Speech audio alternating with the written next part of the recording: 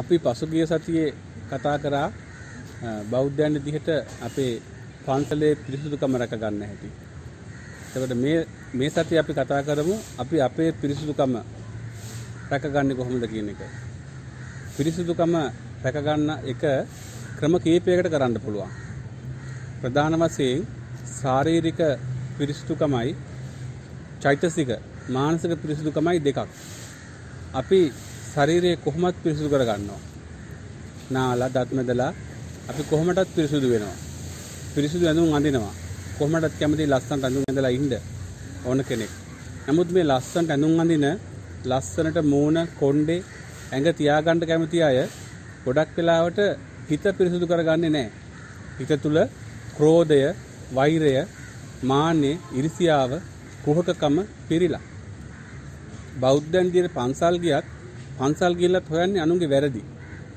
එක එක්කෙනාගේ කොණ්ඩ මෝස්තර, එක එක්කෙනාගේ ඇඳුම් පැළඳුම් විලාසිතාවන්, එක එක්කෙනා වාඩිලා ඉන්න හැටි, අල්ලාප සල්ලාප දෙන හැටි, අරයා මල් වට්ටිය ලොකුවට පූජා කරනවා, මෙයා මල් වට්ටිය පොඩියට පූජා කරනවා කියලා අනුන්ගේ වැරදි.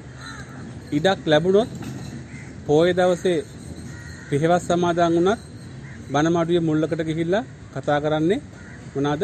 ඕපදූප. මේ කියන්නේ ඇත්ත. මේ කියන්නේ තමන්ගේ හදවතෙන්ම කල්පනා කරලා බැලුවොත් තමන්ලා විසින් සිද්ධ කරන වැරදි. අපි බෞද්ධයෙක් විදිහට මූලික වශයෙන් බෞද්ධයෙක් වෙන්නේ කොහොමද?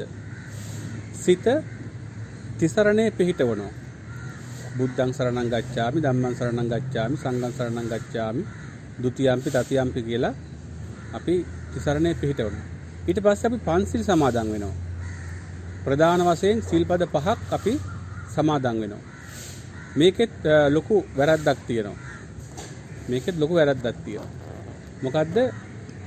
සීලය කියන එක අපි කවුරුවත් කියන්නම් වාලේ සමාදන් වෙන්න ඕනේ පන්සලේ හාමුදුරුවෝ নমස්කාරය කියනකොට নমස්කාරය කියනවා. එහෙනම් මේ විදිහට පන්සිල් සමාදන් වෙන්න ගියාම ગાථා ටික කියලා අපි ඒ සීල්පද ටික කියලා සමාදන් වෙනවා. එතකොට ඒක චාරිත්‍රයක්. ඒක චාරිත්‍ර සීලය. චාරිත්‍ර සීලය සමාදන් වෙන අපි නිත්‍ය වශයෙන්ම අපේ හදවතින්ම තවත් දෙයක් කරන්න ඕනේ. ඒ තමයි වාරිත්‍ර සීලය සමාදන් වෙන්න ඕනේ.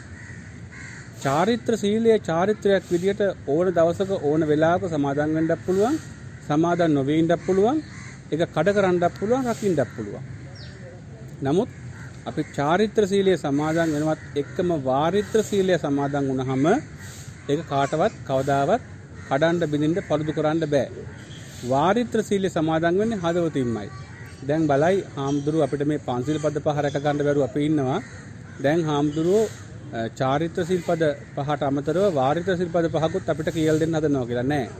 ඒ චාරිත්‍ර සිල්පද පහම තමයි වාරිත්‍ර සිල්පද කියලා කියන්නේ. චාරිත්‍ර සිල්පද පහම තමයි අපි වාරිත්‍ර සිල්පද කියලා කියන්නේ. අපි පානාතිපාතා වේරමණී සික්ඛාපදං සමාදියාමි කිව්වම පර පන නැසීමේ අපි ඒ වැලකීමේ සිල්පද සමාදන් වෙනවා කියලා කියනවා. අපි අදිෂ්ඨාන කරගන්නවා කිසිසේත්ම කිසිම සතෙකුගේ පණ අපේ අතින් නහන්නේ නෑ කියන එක. එක ඊටාම කෙටි. එතකොට අනිත් සිල්පද හතරත් ඒ වගේමයි. අපි අදිෂ්ඨාන කරගන්නවා සිල්පද සමාදන් වෙනවත් එක්කම තප්පර ගානකින් අපි අදිෂ්ඨාන කරගන්නවා මේ වැරද්ද මම කරන්නේ නැහැ කියලා. එතකොට චාරිත්‍ර සීලයයි වාරිත්‍ර සීලයයි දෙකම අපි සමාදන් වෙනවා. එතකොට අපිට පස් පවින් වැළකෙන්න ඒක මහා රුකුලක් වෙනවා. මහා බලයක් වෙනවා. පන්සිල් පද පහ රකින්න කෙනෙක් බෞද්ධයෙක්. ඒ බෞද්ධයට කිසිම විපතක් වෙන්නේ වාතයෙන්, ගින්නෙන්, ජලයෙන් විපතක් වෙන්නේ ස්වර සතුරු උපද්දර වලින් ආරක්ෂා වෙනවා. ඒ වගේම මහා භයානක විපත් වලින් ආරක්ෂා වෙනවා. හැබැයි ඉතින් මේ දේවල් වල පිහිට ලබන්න ගොඩක් අය කියන මම පන්සිල් ගන්නවා මම පන්සිල් රකින්නවා මම බුදුන් වඳිනවා මම පන්සල් යනවා මං වගේ බෞද්ධයෙක් මේ කොහෙවත් මේ ගමේවත් නැහැ කියලා අභිමාණයෙන් කියනවා. නමුත් හිතේ ක්‍රෝධය, ද්වේෂය, වෛරය අනිකට වලකැපීම අංක 1ට හිතේ පිරලා තියෙනවා. එහෙම අංක 1ට හිතේ ඒ දේවල් තියෙනකොට කොච්චර පන්සිල් ගත්තත්, කොච්චර පන්සල් ගියත්, කොච්චර බුදුන් වැන්දත් ඒ පුද්ගලයා බෞද්ධයෙක් වෙන්නේ නැහැ.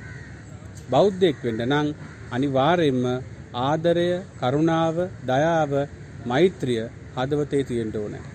අනික් එක්කිනාගේ ජීවිතයට වලකපලා අනිත් එක්කෙනාගේ ජීවිතයට පහර දීලා මොන හරි කුමන්ත්‍රණ කරලා තව එකෙක්ව මුලා කරනවා නම් තව එකෙක්ගේ හිත දූෂණය කරනවා නම් තව එකෙක්ගේ ජීවිතය අඳුරු කරනවා නම් ඒ පුද්ගලයා කවදාක්වත් බෞද්ධයෙක් බවට පත් වෙන්නේ නැහැ. එතකොට අපි රකින්න සීලෙනුත් අපිට වැඩක් වෙන්නේ නැහැ. Taman රකින්න සීලෙන් වැඩක් වෙන්න නම් Taman කරුණාවන්ත පුද්ගලයෙක් බවට පත් වෙන්න ඕනේ.